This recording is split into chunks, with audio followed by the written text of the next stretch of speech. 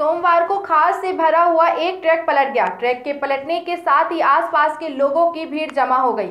इसी के साथ कई लोग खाद के कट को उठाकर खेतों के रास्ते भाग निकले।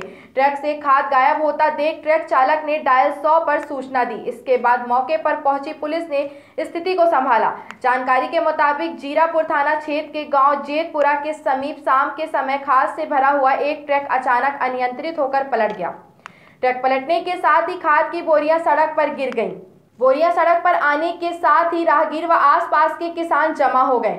देखते ही देखते नागरिक खाद की बोरियों को उठाकर ले जाने लगे। ट्रक चालक ने नागरिकों को ऐसा करने से रोकना चाहा, लेकिन किसी ने उनकी बात को नहीं सुना और खाद की बोरियाँ ले गए। इसके बाद उन्होंने डायल सौ को सूचना दी।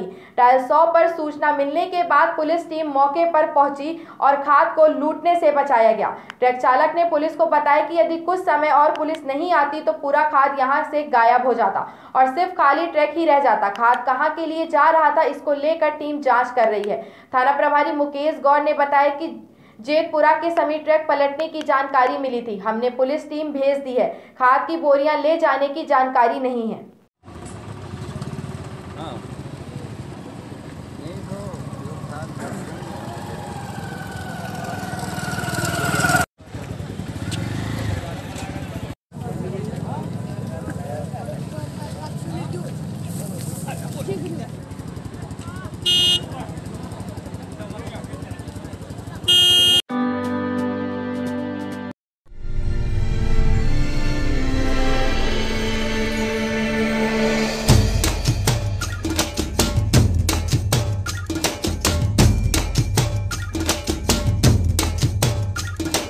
इतने सुंदर सुंदर गहने लाए। दुल्हन के रूप में चार चाँद लगाए।